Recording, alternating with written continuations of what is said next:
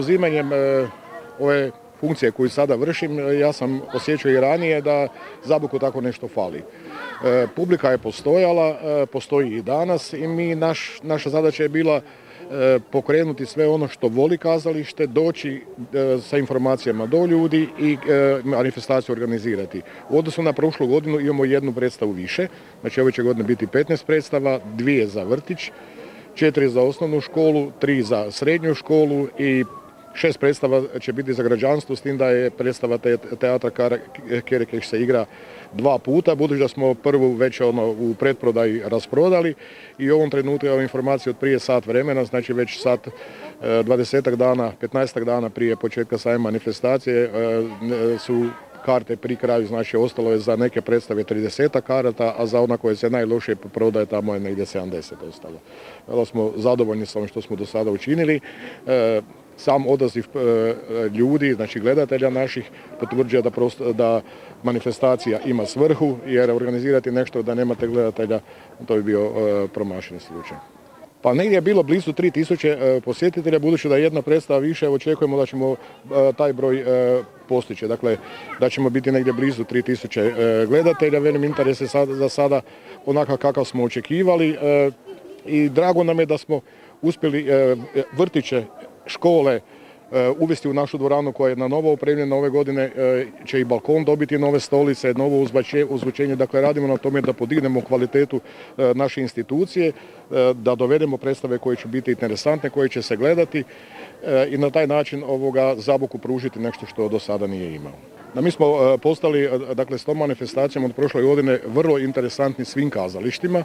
Znači mi ponude dobivamo e, e, kontinuirano od prvog mjeseca pa do 12. mjeseca. Ovo je sad period kad kazalište koji imaju ugovor sa ministarstvom, kada su predstave sufinancirane od strane ministarstva, učestalo šalju dopise e, da bi predstave mogli održati, to je da ne bi došlo do povrata sredstava. Mi smo ovu godinu napunili, dakle više ne možemo odigrati ništa jer nakon ovih 15 predstava ćemo odigrati i Dane smijeha teatra Kerekeš koji ne može igrati u Krapini, tako da smo i njih dobili. I u 12. mjesecu ćemo eh, odigrati predstavu koja bude imala, ne predstavu, nego eh, produkciju, eh, jer ćemo ove godine prvi put dodijeliti nagradu najboljoj predstavi. Ta predstava, ta produkcija će imati priliku odigrati još jednu predstavu na kojoj ćemo dodijeliti priznanje na koju sam na kraju krajeva danas zaboravio reći da smo ga ustanovili. Radi se o priznanju staklenoj statuji e, koja će se dodijeliti, dakle imamo povjerenstvo od pet osoba, e, to su većinom ljudi koji su vezani za kazalište ili za hrvatski jezik gdje, se dio kazališne kulture i predaje. U ovom trenutku je to povjerenstvo anonimno i bit će anonimno do ustanovljenja sljedećeg, povjerenstva da mislim da to bude onako kako bi trebalo biti. Znači ocjene se ocjenjivat će se ocjene od 1 do 5 i onaj koji ima najviše bodova, taj će dobiti statu.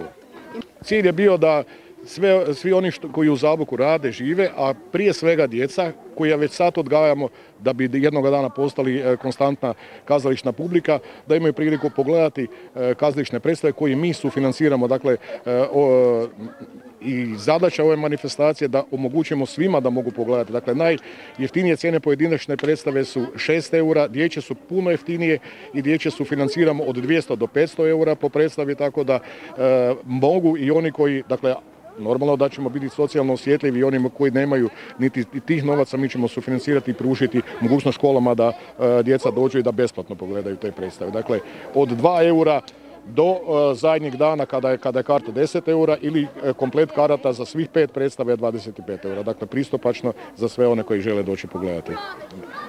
probali smo to na više lokacije, međutim da je teško poloviti ove komplete predstava, tako da e, nam je, evo i ovdje je zahvala e, gradskoj knjižnici koja nam već drugu godinu izlazi u susret, ne samo e, vezano za Zabočku kazališnu jesen, nego za sve što mi organiziramo, oni nam vrlo rado uskoče prodajom karata. Vama zahvaljujem na praćenju, jer bez vas bi vrlo teže doprli do onih za koje radimo.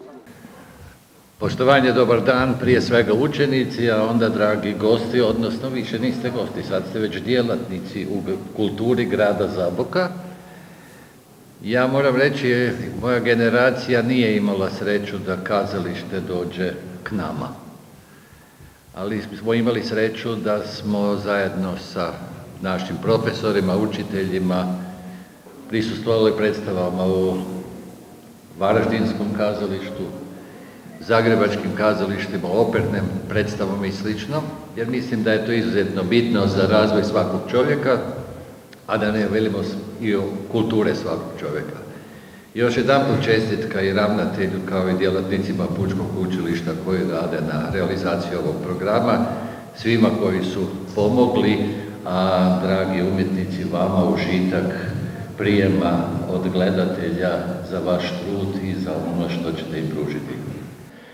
Zake je, dragi ljudi, jedna manifestacija koja je već prošle godine pokazala svoj veliki, veliki utjecaj e, na cijelu, ja, mogu reći, zagorsku kazališnu scenu i, i e, ovaj dio Hrvatske. Meni je drago da Kerekeš teatar evo i drugu godinu za redom e, dio Zahaj i da kad smo se dogovarali oko predstave da nismo se puno pitali Zahaj, Zahaj baš šta.